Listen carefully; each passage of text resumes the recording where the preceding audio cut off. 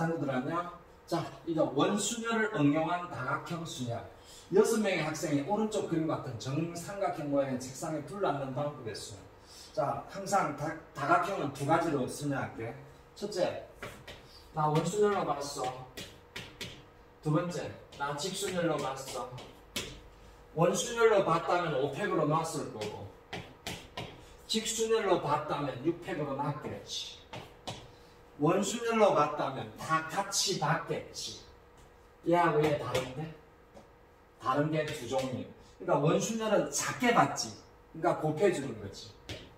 얘하고 얘 다르잖아. 자, 바, 얘하고 얘. 얘는 같은 종류야. 근데 얘는 다른 종류야.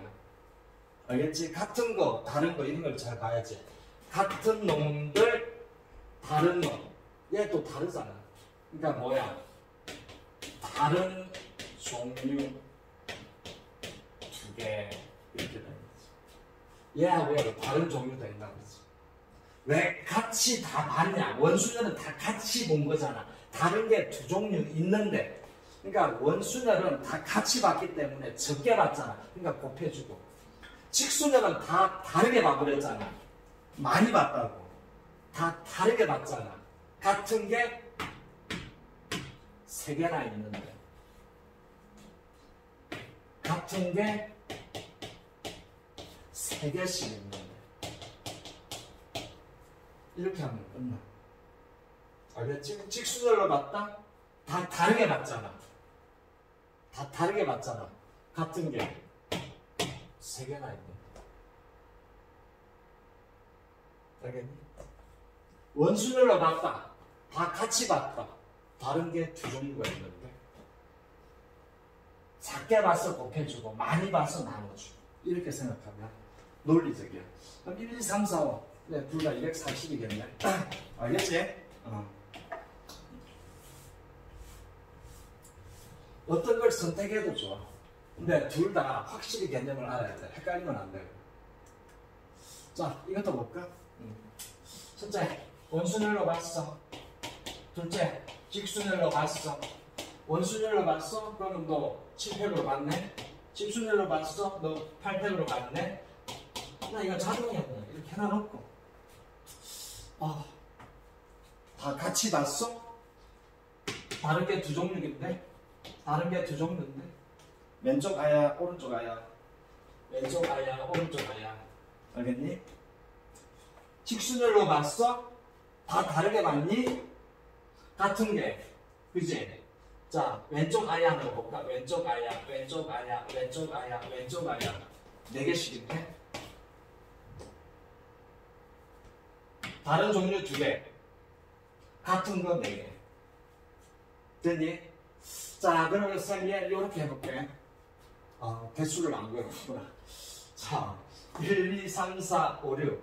1, 2, 3, 4, 5, 6, 720이야. 그 다음에 7, 2, 14. 2, 4, 8. 7, 4, 28. 12. 10080이네, 여기 있으니까. 됐지?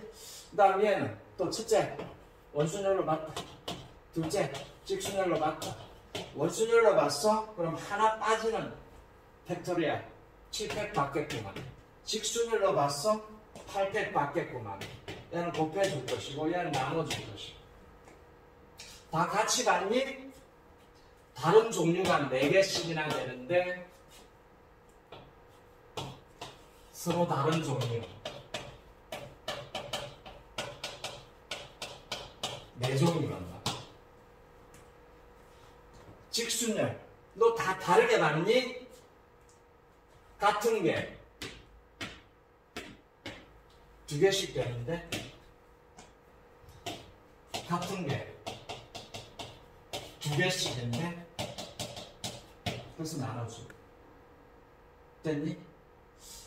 자, 1, 2, 3, 4, 5, 6이 120. 자, 1, 2, 3, 4, 5, 6이 720이야. 720. 곱하기 7, 4, 28. 아까 두 배네. 그치? 아까 두 배네. 20160이네. 아까 두 배네. 알겠지? 이러면 그냥 완벽해. 자, 그 다음에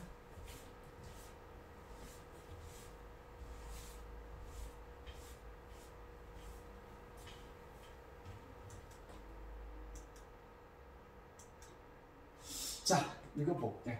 오른쪽 그림 1과 같이 넓이가 1이고 모두 다른 색이 칠해지 12개가 있대. 이들 12개의 정사각형으로 이걸 채우래. 그럼 12개.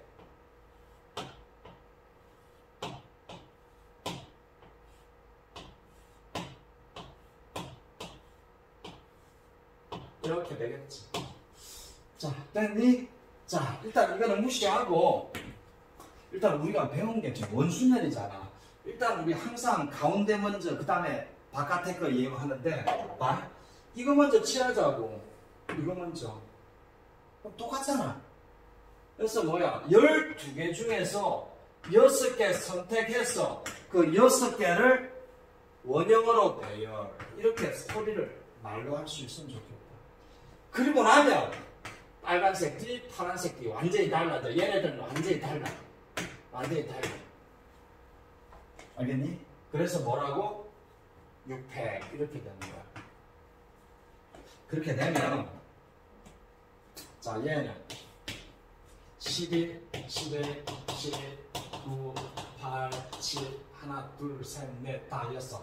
그 다음에 6, 5, 4, 3, 2, 1 곱하기 5팩, 6팩인데 이렇게 하자. 6팩, 5팩. 이렇게 하자. 그럼 2, 2 없어져 버리지. 그 다음에 5팩 있는데 얘, 얘를 2하고 6으로 잘라가지고 얘 6팩 되지. 6팩, 7팩, 8팩, 9팩, 10팩 됐니? 10팩이지. 됐어? 생말 맞아? 자, 5팩. 요 6을 곱해서 6팩. 7팩, 8팩, 9팩, 10팩. 음. 곱하기 10이라고 이 남았지, 20이. 답은 20이야. 이렇게 풀기가 쉽다고 우리가 생각하기에는. 근데 해설에는 어떻게 있냐면, 해설에는 어떻게, 아우, 다 죽어버렸네. 해설에는 어떻게 그래도 있는 게 많으니까.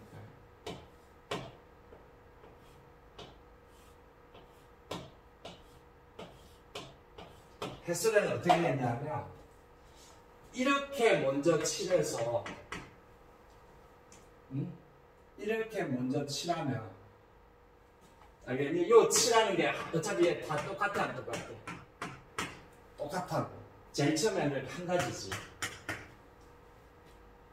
그치? 그러고 나면 나머지는 이제 뭐가 되겠니? 직순열이지. 그치?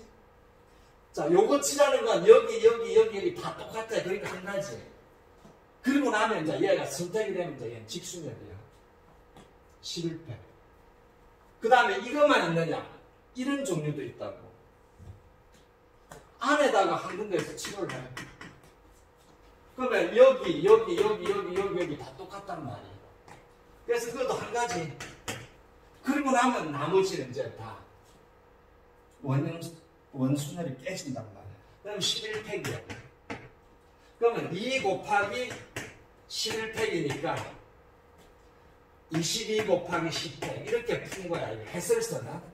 근데 뭐 이렇게 생각하기보다 우리가 이걸 연습을 좀 해두면 좋겠다. 이런 유형의 문제가 많아. 알겠니? 가운데 먼저, 그 다음에 바깥에는 직순열. 이런 유형이 많아서 첫 번째 걸 좀 기억해두면 좋겠어.